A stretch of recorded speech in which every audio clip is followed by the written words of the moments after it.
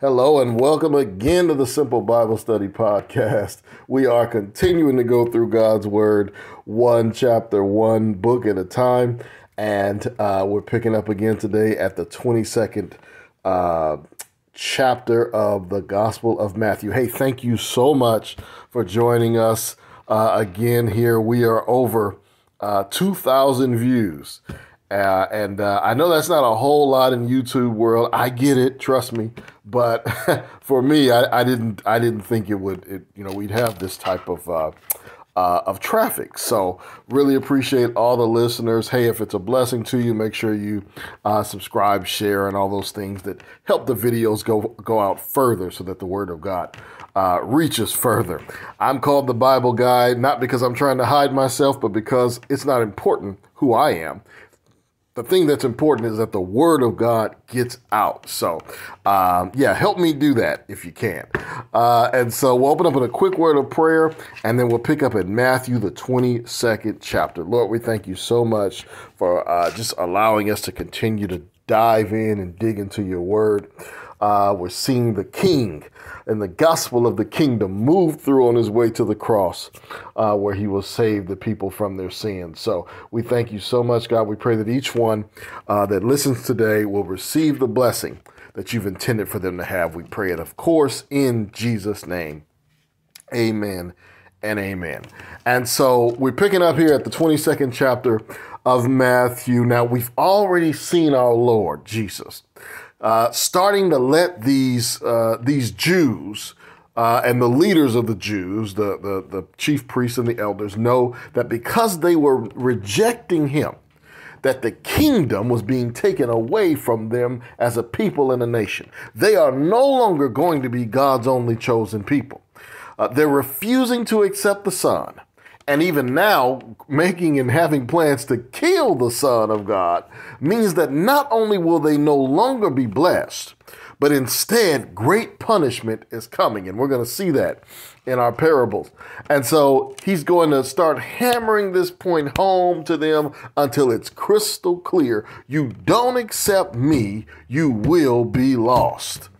And I hate to break it to somebody listening right now, but the same is true for you and for me. We don't accept him, we will be lost. It really is that simple. This is the Simple Bible Study Podcast. And so that, that's as simple as it gets. Now, we're going to see that very well in this in this parable here. So we're, picking up at chapter 22. And Jesus answered and spake unto them again by parables. Again, parables are short stories um, that reveal uh, a hidden truth and said, The kingdom of heaven is like unto a certain king, which made a marriage for his son, and sent forth his servants to call them that were bidden to the wedding, uh, and they would not come. Again, he sent forth other servants, saying, Tell them which are bidden. Uh, Behold, I have prepared my dinner, my oxen, my fatlings are killed. All things are ready coming to the marriage. Now, in this parable, we've been introduced to several characters here. The first character, the king, represents God the Father and he's calling the people uh, to come to this this wedding feast to come to this thing he's prepared. Now the people that he's invited represents the nation of israel the pharisees the chief priests the elders all of this nation. And he's invited them to come and celebrate his son the wedding of his son to his bride which would be uh, the kingdom. And so the son of course represents jesus christ the son of god the father and then he, he was calling them to come. Uh, like today, he's calling you and me to come, you see. And so uh, the, the servant in verse 4, now this is another character, he represents the Holy Spirit. He's the, the, the servant goes out and calls people to come uh, uh, to this wedding and calls people to come in. Jesus said of the Holy Ghost at John 16 and um, 16 and verse 8 We'll read that here. Verses 8 through 11. It says, uh, uh, let's start at verse 7.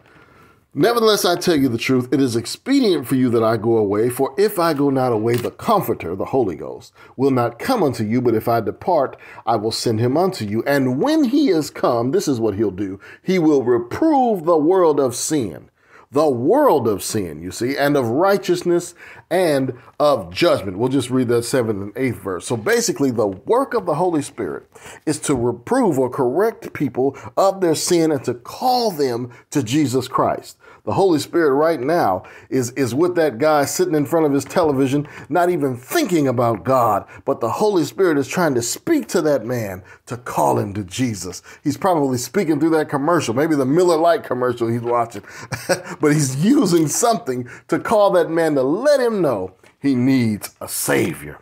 Amen. And so, at uh, now that we got these characters established, uh, we can go back to the parable. Parable. Now, in Matthew, we left off at verse four.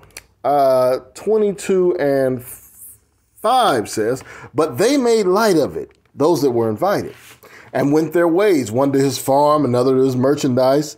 And, and the remnant took his servants and entreated them spitefully and slew them.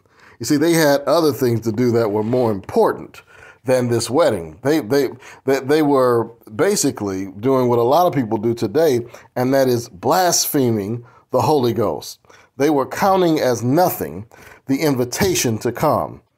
That's what the blasphemy of the Holy Spirit is. It's ignoring him, mocking him uh, as he's calling you and trying to convict your heart and, refu- and you refusing to yield. Don't put the Holy Spirit off, friends. Today is the day of salvation. Today, if you will hear his voice, harden not your heart. Verse 7 says, But when the king heard thereof, he was wroth, angry.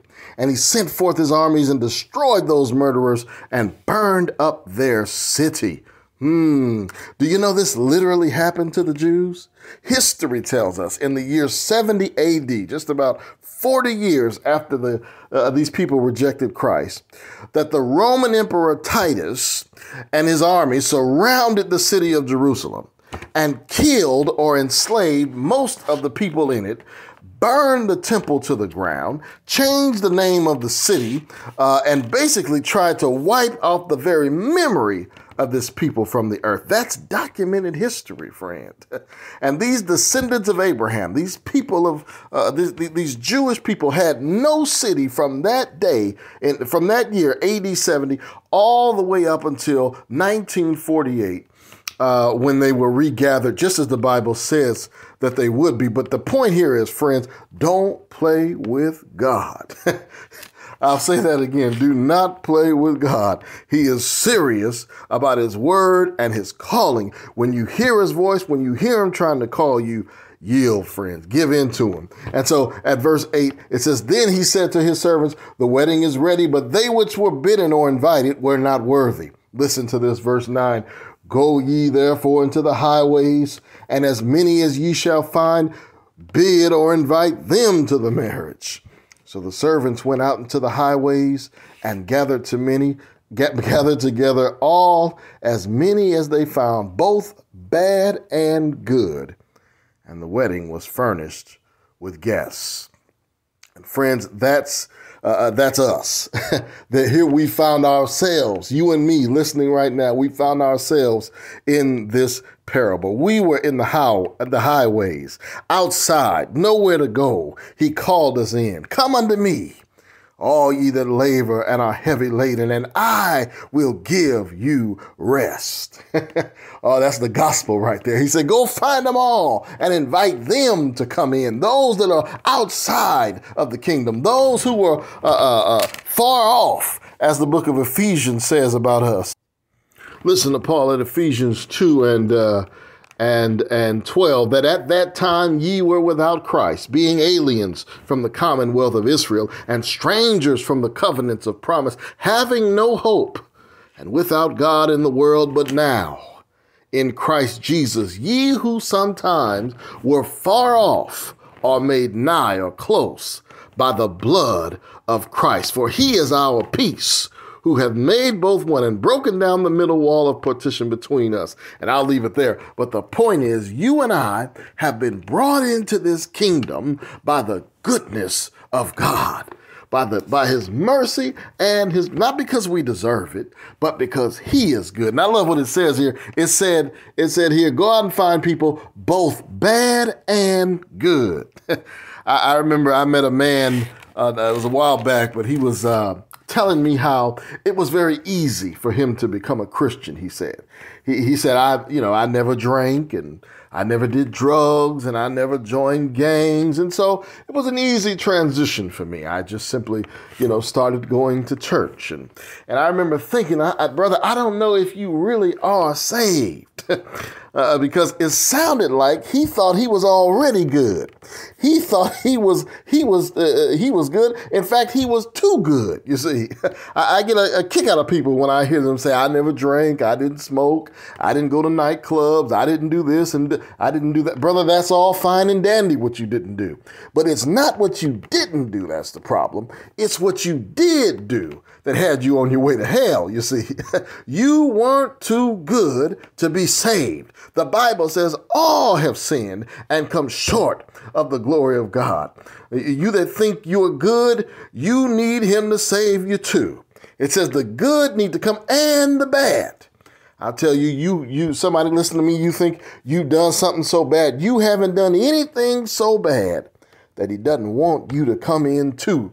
He doesn't want you to come to him as well. I don't care what it is or who it was with. He says, Whosoever will let him come, the bad and the good. And verse 12 says, uh, uh, uh, verse 11 now says, And when the king came in to see the guests, he saw there a man which had not on a wedding garment. Wait a minute. Wait a minute. We got a problem. Uh, uh, uh, and he said unto him, Friend, how camest thou in hither, not having a wedding garment? And he was speechless.